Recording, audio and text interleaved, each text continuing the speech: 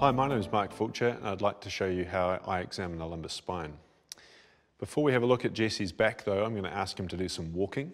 So if you can get up on your tiptoes and do some walking, that's a good screen for the S1 myotome. And then if we get you on your heels and do some heel walking, this is a good screen for the L5 myotome. So no problems walking on his tiptoes or on his heels. So we're thinking that his power is grossly normal at this point.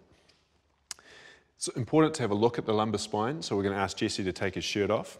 Patients with lumbar spine pain are often very uncomfortable. So simple tasks like taking your shirt off can often be quite sore. So it's useful to keep a, a close eye on how they're moving and how things are working. I'd like to have a look from side on.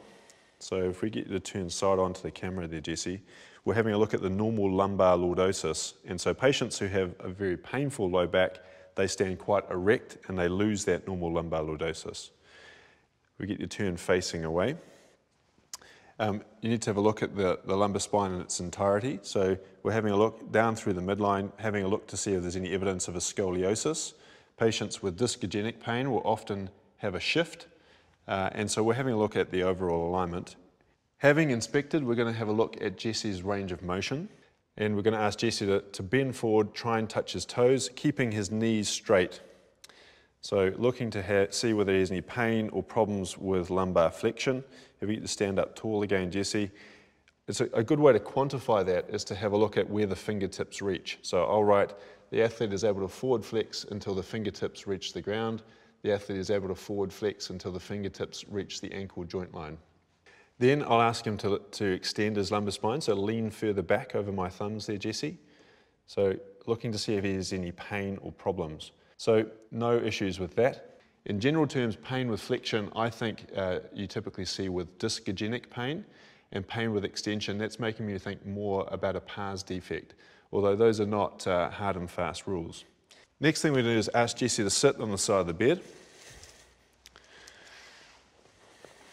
So in this position, I think that's a good opportunity to test the athlete's neurology.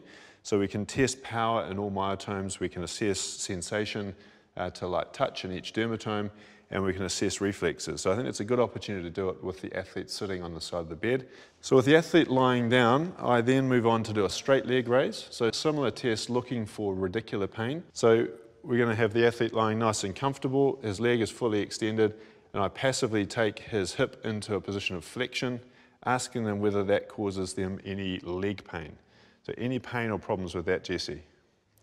So if the athlete did develop pain, so say we're able to flex to about 30 degrees and they start to become painful, we'd say, where is that pain?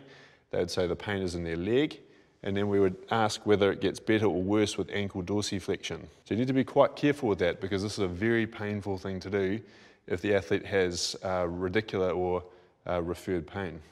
So ankle dorsiflexion we'd expect to make the pain worse. Ankle plantar flexion we'd expect to make the pain better. Knee flexion we'd expect to make the pain better.